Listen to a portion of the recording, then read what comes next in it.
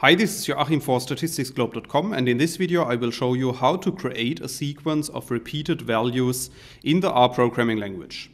So in the video I'm going to show you an example and this example is based on the vector object that we can create with line 3 of the code. So if you run this line of code you will see that at the top right of RStudio a new vector object appears which is called x and we can also print this vector object to the RStudio console by running line 4 of the code. And after running this line of code, you will see at the bottom in the RStudio console that our vector object simply consists of a numeric range ranging from 1 to 5. So let's assume that we want to create a sequence in which each of these numeric elements is repeated five times. Then we can apply the rep function, as you can see in line 6 of the code. And within the rep function, we need to specify the name of our vector object. So in this case, our vector object is called x. Then we need to specify a comma. And then we need to specify the each argument to be equal to the number of times that we want to replicate each of our values.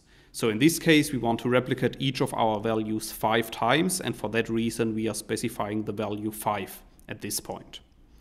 So if you run line 6 of the code, you will see at the bottom in the RStudio console that a new vector object is returned. And this vector is consisting of 25 values, whereby each element of our input vector is repeated five times. So in this video I have shown you how to create a sequence of repeated values using the rep function in the R programming language.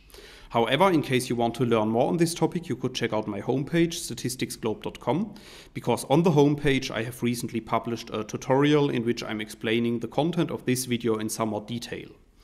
Furthermore, if you have liked the video, I would be very happy if you leave me some positive feedback in the comments or if you give me thumbs up on the video and make sure to subscribe to my YouTube channel to get notifications in future when I'm releasing new videos to the channel. That's it for this video. Thanks a lot. See you next time. Bye bye.